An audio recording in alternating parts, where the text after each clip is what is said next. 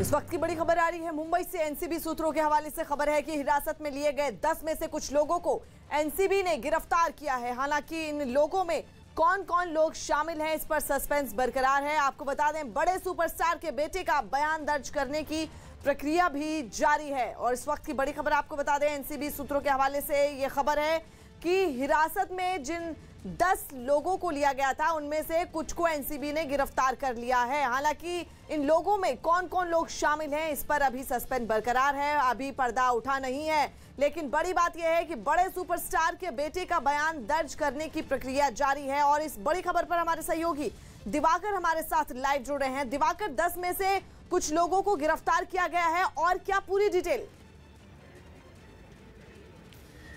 देखिए फरा इस पूरे मामले में जैसा कि पहले से उम्मीद की जा रही थी कि कुछ लोगों की गिरफ्तारी हो सकती है, एनसीबी के सूत्रों से जानकारी मिल रही है कि जो 10 लोग डिटेन किए गए थे, जिसका दावा एनसीबी की तरफ़ से किया जा रहा था, उसमें से कुछ लोगों को एनसीबी ने गिरफ़्तार कर लिया है। हालाँकि वो संख्या कितनी है, वो अब तक एनसीबी उसका खुलासा नहीं कर रही है और साथ ही साथ कौन कौन से लोग गिरफ़्तार हुए हैं, इस पर कुछ लोगों में उनके नाम भी अब तक सामने सामने नहीं आए हैं, उस पर सस्पेंस बरकरार है, लेकिन जो आला अधिकारियों से जानकारी मिल रही है कि आज दोपहर तक ये क्लियर हो जाएगा, क्योंकि कितने लोगों की गिरफ्तारी गिरफ्तारी हुई है यह साफ़ हो जाएगा क्योंकि इसके बाद जब आधिकारिक स्टेटमेंट एनसीबी की तरफ़ से जारी किया जाएगा ऐसा जान, ऐसी जानकारी जो आला अधिकारी है वो दे रहे हैं लेकिन फ़िलहाल यहाँ पर आप जो गाड़ी देख रहे हैं इससे दो महिलाओं को यहाँ एनसीबी के दफ्तर लाया गया है उनसे सवाल वगैरह भी किया गया लेकिन कोई जवाब उन्होंने नहीं दिया ये गाड़ी देखिए यहाँ पर उन दो महिलाओं को लेकर आई है और इसी एनसीबी के दफ्तर में लेके गई है। तो सबसे अहम चीज़ ये है कि ये वो लोग हैं जो एनसीबी के लोग हैं उनसे भी बातचीत हमारी हुई तो वो कुछ भी बोलने से बच रहे हैं बस उन्होंने ये कहा कि कुछ लोगों की गिरफ्तारी हो चुकी है। हालाँकि अब तक गिरफ्तारी किसकी हुई है, वो सस्पेंस बरकरार है, लेकिन सबसे बड़ी अहम चीज़ ये कि जो सुपरस्टार का बेटा है, जिसे कल रात एनसीबी के दफ्तर लाया गया था, उसका बयान अभी भी लगा दर्ज किया जा रहा है। यानी जो रात से बयान दर्ज करने की प्रक्रिया शुरू हुई थी, वो अभी भी जारी है और हो सकता है कि दोपहर तक जबाला अधिकारी पहुँचे, जो एनसीबी के ज्वाइंट डायरेक्टर हैं या फिर डीजी लेवल के अधिकारी जो हैं, वो यहाँ पर पहुँचे। उसके बाद तस्वीर साफ़ हो पाए कि आखिर जो कुछ गिरफ्तारियाँ हुई हैं उसमें कौन कौन से लोग शामिल हैं दिवाकर आपसे जानना चाहूँगी कि देखिए जिस सुपरस्टार के बेटे का यहाँ पर नाम सामने आ रहा है तो क्या वो अभी भी वहाँ पर मौजूद हैं और देखिए सुपरस्टार के बेटे के अलावा एक और एक्टर था जो एनसीबी के रडार पर था उसकी क्या जानकारी देखिए, उनसे एनसीबी इस पूरे मामले की जाँच कर रही है और जो पूछताछ किए गए हैं, इसमें देखिए, ये बैग्स वगैरह जो लेके पुलिस की टीम जो है वो अंदर जा रही है क्योंकि दो महिलाएँ जो लाई गई हैं एनसीबी दफ्तर में, आप तस्वीरें देख सकती हैं, लाइव तस्वीरें इस वक्त न्यूज़ एटीन इंडिया पर, जो इस गाड़ी के ज़रिए जो सूटकेस वगैरह लाए गए हैं, वो अब एनसीबी दफ्तर के अंदर उन्हें ले जाया जा रहा है, क्योंकि दो महिलाओं को यहाँ पर लाया गया, उनसे सवाल भी किए गए, लेकिन उन्होंने कोई जवाब नहीं दिया। पुलिस की सुरक्षा व्यवस्था है मुंबई पुलिस की तैनाती और मुंबई पुलिस की जो महिला पुलिसकर्मी है वो यहाँ पर वो बैग लेकर अंदर गई हैं। यानी जो हलचल है वो धीरे धीरे बढ़ रही है, क्योंकि जिस तरह से एनसीबी ने ये दावा किया है कि 10 लोगों को हिरासत में लेने के बाद कुछ लोगों की गिरफ्तारी हुई है तो उनमें से हो सकता है कि जो महिलाएँ लाई गई हैं, उसमें से हो सकती हैं, लेकिन सबसे अहम चीज़ इस पूरे मामले में यह है कि फ़िलहाल यहाँ हलचल बढ़ चुकी है और ऐसे में हलचल बढ़ने का मतलब है कि जब अधिकारी, आला अधिकारी पहुँचेंगे यहाँ पर, तब हो सकता है कुछ तस्वीर साफ़ हो पाएगी कौन लोगों की गिरफ्तारी हुई है। लेकिन फ़िलहाल कई बड़े ऐसे लोग हैं जो फ़िलहाल एनसीबी की रडार पर, चाहे वो बिजनेसमैन हो या बॉलीवुड से जगह के लोग हों, क्योंकि जो जानकारी मिली है कि हाई प्रोफ़ाइल पार्टी उस क्रूज में हो रही थी और उस क्रूज में अब जिस तरह से हलचल आपको यहाँ पर दिख रही है पुलिस की सुरक्षा व्यवस्था देखिए यहाँ पर जो बढ़ा दी गई है खासतौर पर क्योंकि यहाँ पर हलचल होनी शुरू होगी और जिस तरह से हाई प्रोफ़ाइल ये पूरा मामला है उसको देखते हुए एनसीबी ने मुंबई पुलिस से मदद मांगी थी जिसके बाद यहाँ पर पुलिस की तैनाती फरा कर दी गई है। बिल्कुल हाई प्रोफ़ाइल मामला और जाँच के बाद कई अहम सुराग सामने आएँगे और बड़े पर्दाफाश होंगे। और आपको बता दें नार्कोटिक्स कंट्रोल ब्यूरो ने बड़ी कार्रवाई की है। एनसीबी ने मुंबई के पास समंदर में एक जहाज़ पर चल रही पार्टी पर छापा मारा। एनसीबी सूत्रों के मुताबिक इस छापेमारी में एक बहुत बड़े ड्रग्स नेटवर्क का पर्दाफाश हुआ है, जबकि आठ से दस लोगों को हिरासत में लिया गया है। बड़ी बात यह है कि हिरासत में लिए गए लोगों में कुछ फ़िल्म जगत से जुड़े हुए भी लोग हैं। खबर यह है कि हिरासत में लिए गए लोगों में दो मशहूर एक्टर के बेटे हैं, जबकि एक एक्टर भी एनसीबी के रडार पर है। इसके साथ ही कुछ बड़े बिल्डर्स और हाई प्रोफ़ाइल लोगों के परिवार भी इसमें शामिल हैं। आपको बता दें, एनसीबी की कार्रवाई के बाद देर रात एनसीबी अधिकारी भी दफ्तर पहुँचे। बताया गया कि जिस क्रूज पर एनसीबी ने छापा मारा, उस पर एक संगीत कार्यक्रम का आयोजन किया गया था और कई लोगों ने इसके लिए बुकिंग की थी। ये क्रूज 2 अक्टूबर को रवाना होकर 3 अक्टूबर को लौटना था, लेकिन एनसीबी की छापेमारी की वजह से ये कार्यक्रम रद्द कर दिया गया। इस दौरान क्रूज की यात्रा के लिए पहुँचे लोगों को भी भारी मुश्किल का सामना करना पड़ा। लोगों को इंटरसेप्ट किया है हमने। चलो और उनकी इन्वेस्टिगेशन चालू है अभी। अभी कुछ भी कहना it will be very pre sir IPS कोणाला ताब्यात घेतलंय मैं कोई कमेंट नहीं करूँगा इस बारे में। अभी हाँ? ड्रग हैज़ बीन रिकवर्ड और कि ये सब मैं नहीं बता पाऊँगा आपको। I will properly issue and sir कितने लोगों को ताबे लिया गया है? आठ से दस जनों को अभी we are investigating thank you sir कोई सेलिब्रिटी भी है। अभी कोई मैं इस बारे में कमेंट नहीं करूँगा। दिवाकर देखिए आपसे मैं जानना चाहूँगी कि ये जो पूरा कार्यक्रम वहाँ पर आयोजन किया गया क्रूज पर इसका मास्टरमाइंड जो है क्या वो जो लोग गिरफ़्तार हुए हैं वो उनमें शामिल है या उसकी जाँच अभी की जा रही है? देखिए, एनसीबी ने अब तक इसका खुलासा नहीं किया है कि जो ड्रग्स पार्टी आयोजित की गई थी, इसमें हाई प्रोफ़ाइल लोग शामिल हुए थे, उसका मास्टरमाइंड कौन है? इसके पीछे मास्टरमाइंड कौन है? इसकी जाँच अभी तक की जा रही है। अभी तक नाम के खुला, नाम का जो खुलासा है, वो एनसीबी ने फरार नहीं किया है कि आखिर ये पार्टी आयोजित किसने की थी। क्योंकि जिस क्रूज पर ये पार्टी आयोजित की गई थी, वो वहाँ पर सिक्योरिटी काफ़ी ज़्यादा होती है। सीआईएसएफ के जवानों की तैनाती होती है, जो चेकिंग करते हैं। इस चेकिंग के बाद भी कैसे ड्रग्स जो है वो पार्टी तक पहुँची? और कौन था जो इस पूरी पार्टी को मैनेज कर रहा था? और ऑर्गेनाइजर कौन था इस पूरी पार्टी का? ये पूरी जाँच फ़िलहाल एनसीबी की चल रही है। एनसीबी इस पूरे मामले में जो सवाल उनसे वही हो रहे हैं कि आखिर ये पार्टी आयोजित किसने की थी जिस पर एनसीबी का कहना है कि हमारी जाँच चल रही है नाम का खुलासा करना अभी जल्दबाजी होगी लेकिन जैसे जैसे हमारी जाँच आगे बढ़ेगी जो सुराग हमारे हाथ लगेंगे उसके आधार पर फिर हम आधिकारिक बयान जारी करेंगे लेकिन फ़िलहाल जो यहाँ पर हलचल देखने को मिल रही है फरा उससे यही लगता है। कि थोड़ी देर में जब आला अधिकारी पहुँचेंगे तो जैसा कि हमने बताया कि कुछ लोगों की गिरफ्तारियाँ कंफर्म की है एनसीबी के सूत्रों ने तो हो सकता है कि उनके नाम सामने आए कि आखिर कौन से लोग जो है गिरफ़्तार हुए हैं। लेकिन इस पूरे मामले में जो सुपरस्टार का बेटा है, उसका बयान काफ़ी अहम होगा। उस, वो अपने बयान में क्या कहता है, ये एनसीबी के लिए काफ़ी अहम होगा। तो सबसे अहम चीज़ यही है कि एनसीबी फ़िलहाल सुराग इकट्ठा कर रही है। बयानों को लेकर आधार बनाकर जो है वो आगे की तरफ़ जाँच बढ़ाएगी और उस दौरान हो सकता है कि कई हाई प्रोफ़ाइल नामों का खुलासा और हो क्योंकि 600 लोगों के उस पार्टी में शामिल होने की जानकारी सूत्रों से मिल रही है। तो बाकी लोग कौन कौन से हैं और कौन। बिजनेसमैन कौन था कौन बिल्डर था वो जो उस पार्टी में शामिल हुआ था इसका खुलासा आने वाले कुछ घंटों में हो सकता है। फरा। ठीक है दिवाकर आपके पास लौटूँगी और अपने दर्शकों को बता दें कि एनसीबी की छापेमारी के बाद क्रूज के सफ़र का आनंद लेने पहुँचे लोगों को भारी मुश्किल का सामना करना पड़ा।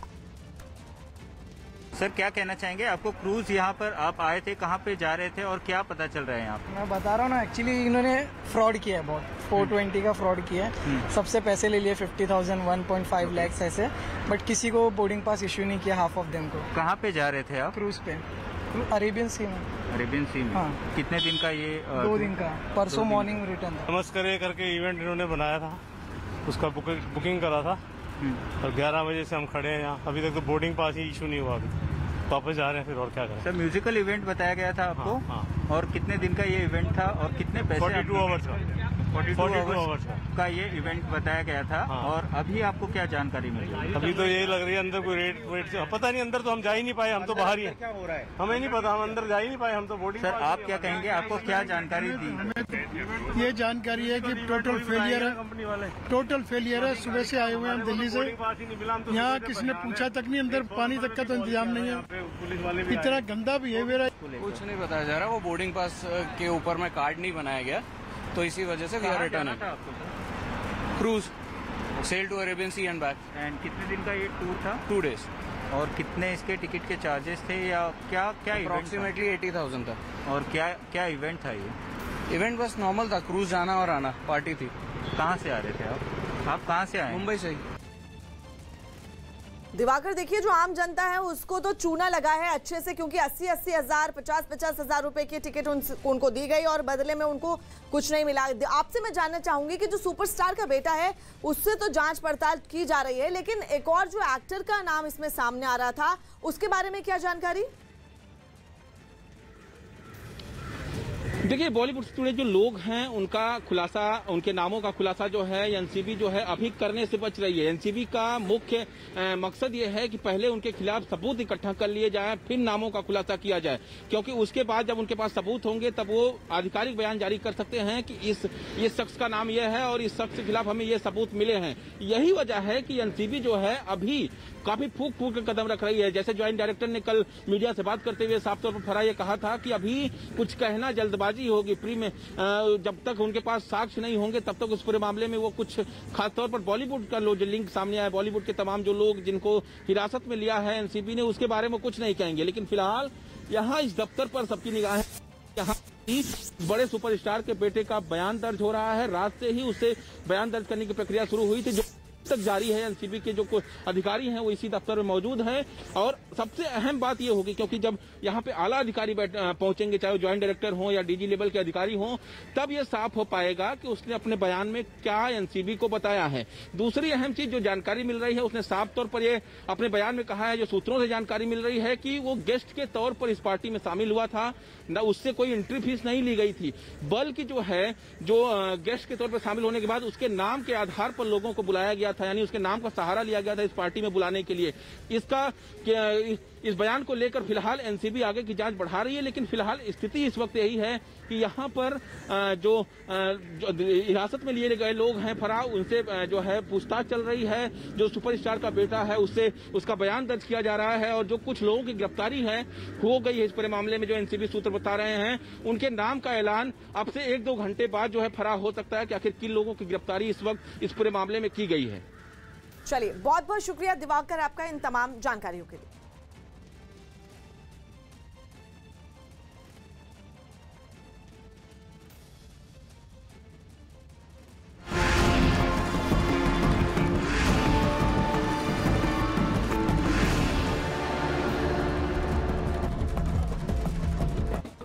तो भवानीपुर उपचुनावों को लेकर न्यूज़ 18 इंडिया की सबसे बड़ी कवरेज लगातार जारी है। आपके साथ मैं हूँ रवि ठाकुर। इस वक्त हम काउंटिंग सेंटर के ठीक बाहर मौजूद हैं। मतगणना यहाँ पर शुरू हो गई है। थोड़ी देर बाद ही पहला रुझान आना शुरू हो जाएगा। किसको पहले रुझान में लीड मिलती है?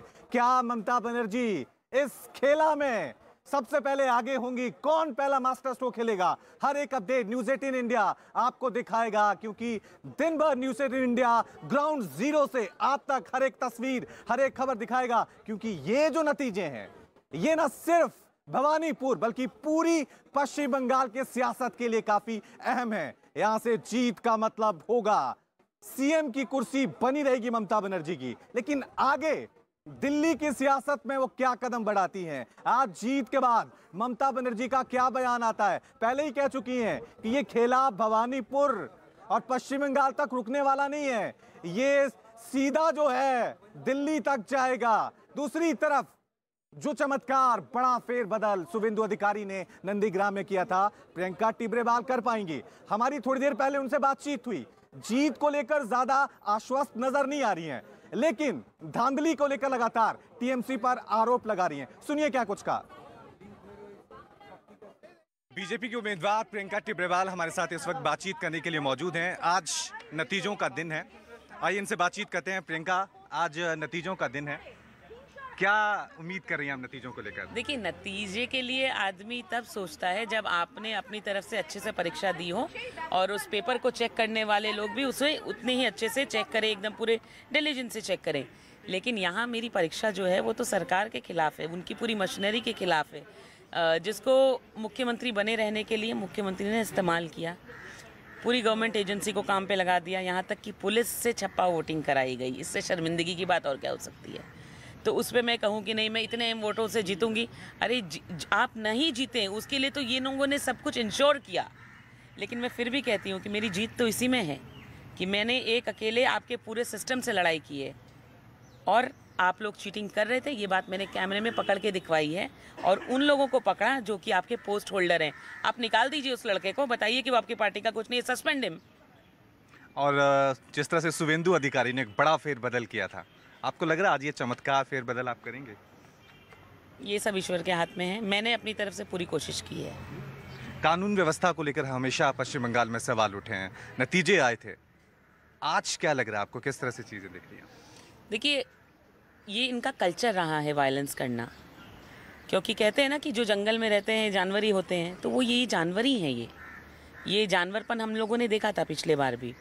तो इसीलिए इस बार इस तरह की कोई घटना ना हो इसलिए मैंने पहले से चीफ जस्टिस को गवर्नर को पुलिस कमिश्नर को सबको बोला है टू इंश्योर ऑल दिस आज अगर आप जीतती हैं तो अगला कदम क्या होगा आपका? लोगों के लिए काम करना और अगर हारती हूँ तो भी वही मेरा कदम रहेगा सेम तो साफ़ तौर से यहाँ पर प्रियंका टिब्रेवाल कह रही हैं कि हिंसा टीएमसी के नेता फैलाते हैं। थोड़ी देर पहले हमारी बातचीत टीएमसी नेता से भी हुई तो वो कह रहे हैं कि पश्चिम बंगाल को बीजेपी बदनाम करने की हमेशा कोशिश करती है। लेकिन बड़ा सवाल यह है कि आरोप प्रत्यारोप के बीच आज नतीजे क्या होंगे? भवानीपुर की जनता ने किसके साथ खेला किया है? टीएमसी का नारा था, भवानीपुर में खेला होबे। बीजेपी का नारा था, भवानीपुर में न्याय होबे। किसके साथ खेला होगा, किसके साथ न्याय होगा? थोड़ी देर बाद ही पूरी तस्वीर साफ़ हो जाएगी। मेरे सहयोगी आशिका हमारे साथ बनी हुई है, ममता बनर्जी के घर पर मौजूद हैं। उनसे मैं जानना चाहूँगा, ममता माफ़ कीजिएगा आशिका, कोई हलचल वहाँ पर देखने को मिल रही है? क्योंकि आज नतीजे का दिन है। जीत हार पश्चिम बंगाल में बड़ा तूफ़ान ला सकती है। रवि, सबसे पहले तस्वीरें इस इलाके की दिखा दूँ। पूरा जो इलाका है ममता बनर्जी के पोस्टर से पटा हुआ है। काउंटिंग शुरू हो चुकी है, लगभग आधे घंटे का समय हो चुका है और सिर्फ़ भवानीपुर नहीं, दो और सीटें हैं, शमशेरगंज, जंगीपुर, जहाँ पर चुनाव हुए हैं, उपचुनाव नहीं, क्योंकि विधानसभा चुनाव के दौरान दोनों ही सीट के जो प्रत्याशी हैं, उनकी मौत कोविड से हो गई थी, जिसके वजह से चुनाव ही नहीं हो सके थे। तो वहाँ भी काउंटिंग शुरू हो चुकी है, जंगीपुर के पॉलिटेक्निक कॉलेज में और दूसरी जगह सखावत मेमोरियल जहाँ पर आप मौजूद हैं। सुरक्षा के कड़े इंतज़ाम वहाँ भी और यहाँ भी। तस्वीरें मैं आपको दिखा दूँ। हमेशा यहाँ पर पुलिस बल जो है वो भारी संख्या में तैनात रहती है, लेकिन आज अतिरिक्त बल को लगाया गया है और साथ ही भवानीपुर की बात करें तो मैं आपको बता दूँ कि दो बार ममता बनर्जी यहाँ से जीत चुकी हैं चुनाव 2011 में। जब सत्ता में टीएमसी आई थी, तब भी उपचुनाव लड़ करके भवानीपुर से ही वो जीती थी और अपनी मुख्यमंत्री की कुर्सी को बचाया था।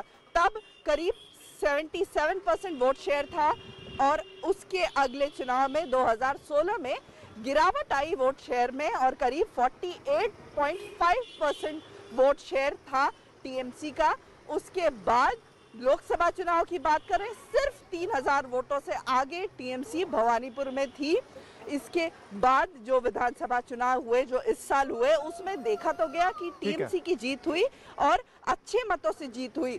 लेकिन साथ ही मैं आपको ये भी बता दूँ कि दो वार्ड ऐसे हैं जहाँ पर विशेष तौर पर टीएमसी पीछे रही है पिछले दो चुनावों में। साफ़ तौर से आशिका, नज़रें बनी हुई हैं। पहला रुझान जैसे ही आएगा, हर एक अपडेट न्यूज़ 18 इंडिया आपको ग्राउंड ज़ीरो से सबसे पहले बताएगा। ये जो खेला होने जा रहा है, ये 2020 का होगा, वनडे क्रिकेट का होगा, क्या मार्जिन बहुत बड़ा होगा। लीड ममता बनर्जी यहाँ पर कितनी बड़ी लेंगी, टीएमसी का दावा है। यहाँ पे मार्जिन जीत का बहुत बड़ा है। जीत तो हम जा रहे हैं, लेकिन मार्जिन पे उनकी नज़रें टिकी हुई है। टिब्रेवाल के अपने दावे हैं कि नंदीग्राम की तरह एक बार फिर ममता के साथ हम यहाँ पर खेला करने वाले हैं। हर एक नज़र, हम हर एक खबर, हर एक विश्लेषण, हर एक तस्वीर हम आप तक सबसे पहले पहुंचाएँगे। एक छोटा सा ब्रेक ले रहे हैं, देखते रहिए। न्यूज़ एटीन इंडिया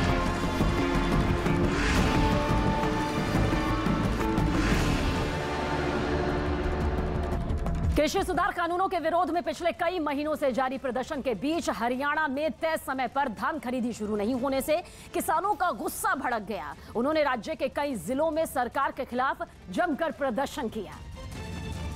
और करनाल में तो प्रदर्शनकारी मुख्यमंत्री मनोहर लाल खट्टर के घर का घेराव करने पहुँच गए।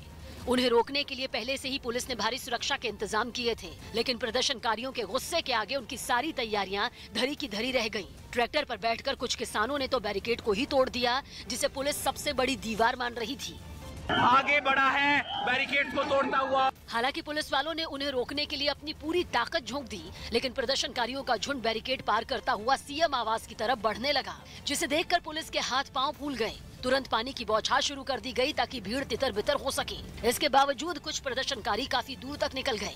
हालाँकि आगे सीएम आवास के पास सुरक्षा बल का एक और घेरा पहले से तैनात था, जिसके बाद किसान वहीं ज़मीन पर बैठ गए। इससे पहले उन्होंने रास्ते में लगे बैरिकेड को तोड़ने की बहुत कोशिश की। दूसरी तरफ़ पुलिस वाले उन बैरिकेड को गिरने से बचाने के लिए पूरा दमखम लगाते दिखे।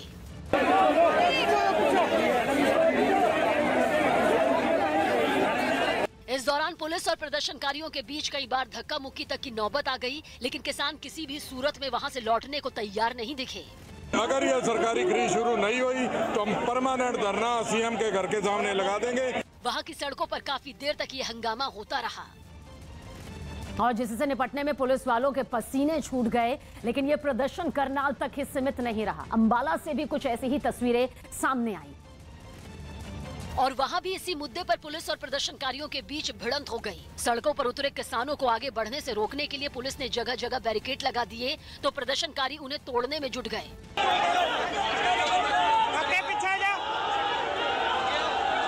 अंबाला में यह हंगामा बीजेपी विधायक असीम गोयल के घर के पास हुआ, जिसका घेराव करने के लिए किसान वहाँ पहुँचे थे। इसकी खबर प्रशासन को मिल गई थी, इसलिए वहाँ सुरक्षा बल के कई जवान पहले से तैनात कर दिए गए थे। हालाँकि बाद में प्रदर्शनकारी किसी तरह बीजेपी विधायक के घर के सामने पहुँच गए और वहीं ज़मीन पर बैठकर धरना शुरू कर दिया। राज्य के कई दूसरे जिलों से भी प्रदर्शन की ऐसी ही तस्वीरें सामने आईं। हरियाणा ही नहीं, पंजाब के भी कुछ शहरों में किसानों ने इसी मुद्दे पर जोरदार प्रदर्शन किया, जिसकी कुछ तस्वीरें राज्य सरकार में मंत्री ब्रह्म मोहिंद्रा के घर के बाहर से भी सामने आई, जहाँ बताया गया कि विरोध प्रदर्शन के दौरान गुस्साए किसानों से कांग्रेस नेता के घर के मेन गेट के सामने लगे, कुछ बैरिकेड तक तोड़ दिए गए। और वहीं धरने पर बैठ गए। बैरिकेड तोड़ने के बाद प्रदर्शनकारी पूरे जोश से आगे बढ़ने लगे। इन लोगों को वहाँ तैनात पुलिस वालों ने रोकने की भी काफ़ी कोशिश की, लेकिन वो कहाँ मानने वाले थे? इस प्रदर्शन में किसानों में महिलाएँ भी शामिल दिखी, जिन्होंने इस विरोध प्रदर्शन में बढ़ चढ़ कर हिस्सा लिया। इस दौरान उन्होंने पंजाब सरकार के खिलाफ नारेबाजी जारी रखी। धरने पर बैठे किसानों ने केंद्र सरकार पर अपना गुस्सा निकाला और धान खरीदी में देरी के फैसले पर नाराजगी जताई 1 ਅਕਤੂਬਰ ਨੂੰ ਬੋਲੀ ਅੱਗੇ ਸ਼ੁਰੂ ਹੁੰਦੀ ਹਰ ਵਾਰ ਤੇ ਐਤਕਾਂ ਉਹਨਾਂ ਨੇ ਇਹਨੂੰ ਅੱਗੇ ਪਾਤਾ ਬਈ 11 ਕਰ- 11 ਤਰੀਕ ਤੱਕ ਕਰਤਾ ਹੁਣ ਇਹ 10 ਦਿਨ ਜਿਹੜੇ ਨੇ ਲੋਕ ਪੱਕੇ ਝੋਨੇ ਨੂੰ ਟਰਾਲੀਆਂ 'ਚ ਪਾਏ ਹੋਏ ਝੋਨੇ ਨੂੰ ਕਿੱਥੇ ਲੈ ਕੇ ਜਾਣਗੇ ਦੱਸੋ कुछ इसी तरह के हालात गुरदासपुर में पंजाब सरकार में कैबिनेट मंत्री त्रिपत राजेंद्र सिंह बाजवा के घर के बाहर भी देखने को मिले वहां भी धान खरीदी के मुद्दे पर किसानों ने सड़क पर उतरकर अपनी नाराजगी जाहिर की और पंजाब सरकार के खिलाफ जमकर नारे लगाए। हंगामा बढ़ता देख त्रिपत राजेंद्र सिंह बाजवा प्रदर्शन कर रहे किसानों के बीच पहुँचे और उनसे बातचीत की। और इस हंगामे के बीच मुख्यमंत्री मनोहर लाल खट्टर ने दिल्ली में केंद्रीय खाद्य राज्य मंत्री अश्वनी चौबे से मुलाकात की। उनके साथ राज्य के डिप्टी सीएम दुष्यंत चौटाला समेत कई और नेता भी मौजूद रहे। जहाँ किसानों के मुद्दे पर काफ़ी देर तक चर्चा हुई और इस बैठक के बाद सरकार ने धान की खरीद पर किसानों की मांगे मान ली। अभी बैठ करके एक निर्णय ये हुआ है कि कल से विधिवत तीन तारीख से, तीन अक्टूबर से और ये प्रोक्योरमेंट जो है वो सब जगह शुरू हो जाएगी। लेकिन धान की खरीद में देरी के मुद्दे पर कांग्रेस ने राज्य सरकार पर निशाना साध दिया। पार्टी के सांसद दीपेंद्र हुड्डा ने तो इसे किसानों और कांग्रेस के दबाव में लिया गया फैसला करार दिया। अगर सरकार ने सही नियत से किया करना होता तो 25 से एक और एक से 11 की तारीख नहीं देते।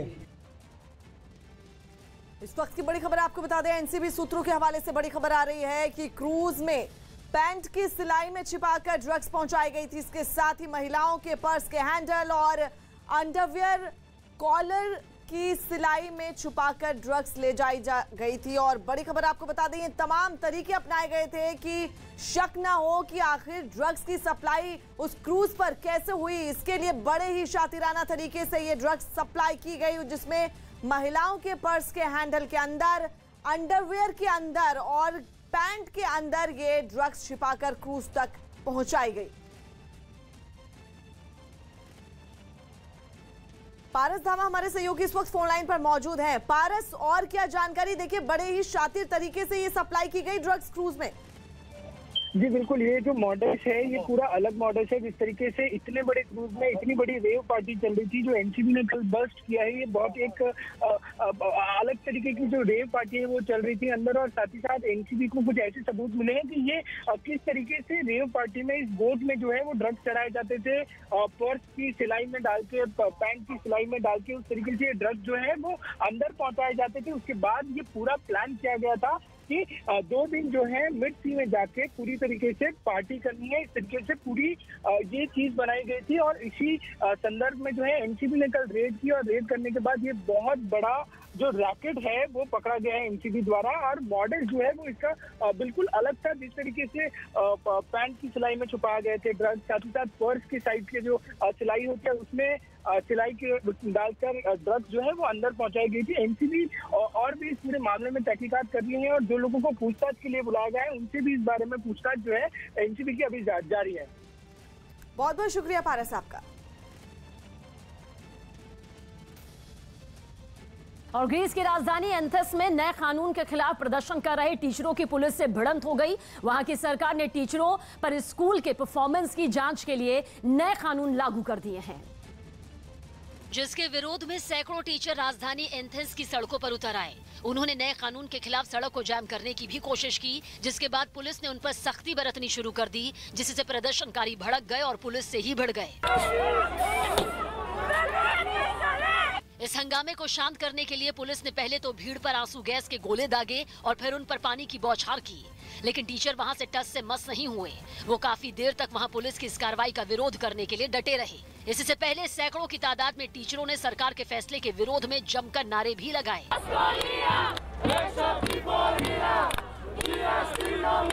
इस प्रदर्शन को देखते हुए प्रशासन ने पहले से ही राजधानी की सभी सड़कों की सुरक्षा बढ़ा दी थी। खबर है कि एंथेंस के अलावा कुछ दूसरे शहरों में भी इसी तरह के प्रदर्शन हुए। आरजेडी अध्यक्ष लालू प्रसाद यादव के बड़े बेटे तेज प्रताप यादव ने इशारों ही इशारों में अपने छोटे भाई तेजस्वी यादव पर जमकर निशाना साधा। तेज प्रताप ने कहा कि आरजेडी में कुछ लोग राष्ट्रीय अध्यक्ष बनने का सपना देख रहे हैं और तैयारी में जुटे हैं। तेज प्रताप ने यह भी कहा कि उनके पिता लालू यादव को दिल्ली में बंधक बनाकर रखा गया है और पटना नहीं आने दिया जा रहा। इसी बीच जेडीयू ने भी तेज प्रताप के बयान पर चुटकी ली।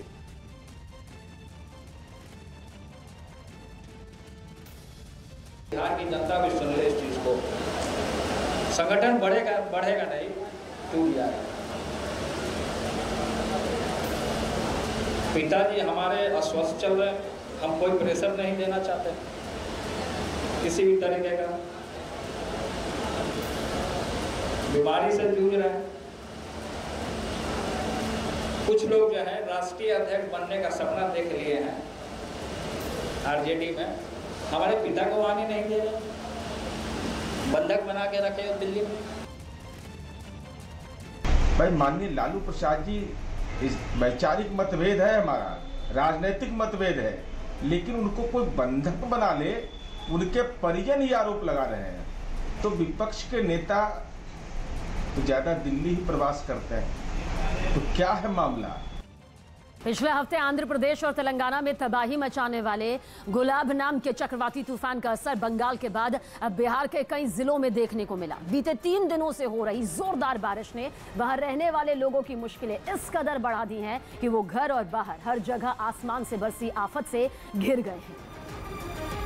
जिसकी कुछ तस्वीरें नवादा से भी सामने आई जहाँ खुरी नदी उफान पर आ गई। नदी का जल स्तर इतना बढ़ गया कि उसका पानी आसपास के रिहायशी इलाकों में भी जा घुसा। वहाँ सड़कें तो जैसे कहीं गुम ही हो गईं और ज़्यादातर सड़कों पर पानी पूरी ताकत से बहता नज़र आया। और इसकी चपेट में जो कुछ आया उसे वो किसी तिनके की तरह दूर तक बहा कर ले गया। करीब लाखों रुपया का सामान क्षति हुआ है। तूफ़ान की वजह से कुछ इसी तरह के हालात नालंदा ज़िले के कुछ इलाकों में भी बन गए जहाँ सड़कें किसी नहर की तरह नज़र आईं। छपरा में भी गुलाब तूफ़ान की वजह से हुई बारिश के बाद हालात बेहद खराब नज़र आए। वहाँ के एक सरकारी अस्पताल के बाहर से जो तस्वीरें सामने आई, उन्होंने कई सवाल खड़े कर दिए। उस अस्पताल के बाहर इतना पानी भरा दिखा कि मरीज़ को अंदर तक ले जाना भी कोई पहाड़ चढ़ने से कम साबित ना हो। इतना पानी अस्पताल में नहीं लगना चाहिए। अगर इतना पानी लगेगा तो फिर कोई किसी का इलाज कैसे होगा? बेतिया के भी ज़्यादातर इलाकों में पानी का कब्जा हो गया। और जो लोग रोज़मर्रा के कामकाज के लिए अपने घरों से बाहर निकले, उन्हें इस मुसीबत का सामना करना पड़ा। सड़क पर पानी भरने से किसी का ऑटो बंद हो गया तो कोई मोटरसाइकिल सवार इस पानी से जूझता हुआ धीरे धीरे आगे बढ़ा। और सिर्फ़ बिहार ही नहीं, महाराष्ट्र के औरंगाबाद में भी गुलाब तूफ़ान का ऐसा असर हुआ कि तेज बारिश हुई, जिससे वहाँ के कई इलाकों में हालात बिगड़ गए। मौसम विभाग का अनुमान है कि अगले दो दिन भी इसी तरह राज्य के कई शहरों में बारिश होगी। लेकिन उससे पहले हुई भारी बारिश ने औरंगाबाद के कई निचले इलाकों में जमकर तबाही मचाई। वहाँ के एक इलाके से जो तस्वीर सामने आई, उनमें सड़क पर पानी ऐसे बहता दिखाई दिया जैसे कोई नदी। सड़क का तो नामो निशान ही मिट गया। लगभग घुटनों तक भरे पानी के बीच खड़े कुछ लोग अपनी जगह से हिलकर आगे बढ़ने की हिम्मत तक नहीं जुटा पाए। एक दूसरी तस्वीर में उस सड़क से बस गुजरती दिखाई दी, लेकिन पानी में उसके टायर दिखने बंद हो गए। ये बस थी, बड़ी थी, इसलिए पानी में सिर्फ़ टायर नज़र आए। वहाँ खड़ी कारें आधी और मोटरसाइकिल तो पूरी तरह पानी में डूबी दिखी। एक दूसरे इलाके में तो संकरी गलियों तक में पानी भरा दिखा, और ऊपर से ली गई तस्वीरों में उस इलाके के मकान पानी के बीचों बीच बने दिखाई दिए। गांधी जयंती के मौके पर प्रधानमंत्री ने जल जीवन मिशन ऐप लॉन्च किया। गांधी जयंती के मौके पर प्रधानमंत्री नरेंद्र मोदी ने जल जीवन मिशन ऐप लॉन्च किया। इस ऐप से लोगों को पानी की सप्लाई की जानकारी मिलेगी। इस दौरान उन्होंने ग्राम पंचायतों और पानी समितियों से ऑनलाइन बातचीत भी की। इसके साथ ही उन्होंने कांग्रेस का बिना नाम लिए उस पर हमला बोला। बिना पानी की ज़िंदगी का दर्द क्या होता है? उन्हें पता ही नहीं। घर में पानी, स्विमिंग पूल, उसमें भी पानी। सब जगह पानी पानी। चुनाव आयोग ने लोक जनशक्ति पार्टी के चुनाव चिन्ह बंगला को फ्रीज कर दिया। यानी अब इस चिन्ह का इस्तेमाल चिराग और पशुपति गुट नहीं कर पाएँगे और दोनों खेमों को नया चुनाव चिन्ह चुनना होगा। गृह मंत्री अमित शाह ने दिल्ली के लाल किले से एनएसजी की कार रैली को हरी झंडी दिखाई। ये रैली 12 राज्यों के 18 शहरों के ऐतिहासिक स्थानों से होकर गुजरेगी। इस रैली को आज़ादी का अमृत महोत्सव अभियान के तहत रवाना किया गया। छत्तीसगढ़ के कांग्रेस विधायकों के दिल्ली दौरे से राज्य में सियासी हलचल बढ़ गई। मुख्यमंत्री भूपेश बघेल और स्वास्थ्य मंत्री टी एस सिंहदेव में टकराव के बीच राज्य के 30 से ज़्यादा विधायक दिल्ली पहुँच गए। हालाँकि इन विधायकों ने एक सुर में मुख्यमंत्री भूपेश बघेल का समर्थन करते हुए राज्य में नेतृत्व परिवर्तन से इनकार किया। ये तो सवाल ही पैदा नहीं होता। ऐसे काम करने वाले को कौन बदलेगा? इसके बाद मुख्यमंत्री भूपेश बघेल ने भी विधायकों की नाराज़गी की खबरों को खारिज कर दिया। छत्तीसगढ़ छत्तीसगढ़ रहेगा पंजाब नहीं हो सकता। लेकिन इस पूरे मामले आरोप पैनी नज़र रखने वाली बीजेपी को कांग्रेस आरोप हमला करने का मौका मिल गया। पूर्व मुख्यमंत्री रमन सिंह ने कांग्रेस पर तंज कस दिया। दो बार हो चुकी है और पूरे कांग्रेस में जी ट्वेंटी नाइन का विभाजन आप देख रहे हो। छत्तीसगढ़ में कांग्रेस के आदेश के बाद भी दिल्ली में लोग दबाव डालने के लिए बैठे हुए हैं। इससे ज़्यादा और क्या विभाजन होगा? महात्मा गांधी की एक जयंती पर दिल्ली समेत देश भर में कई कार्यक्रम आयोजित किए गए। राष्ट्रपति, प्रधानमंत्री और कांग्रेस नेताओं समेत कई हस्तियों ने उन्हें राजघाट पर पहुंचकर श्रद्धांजलि दी।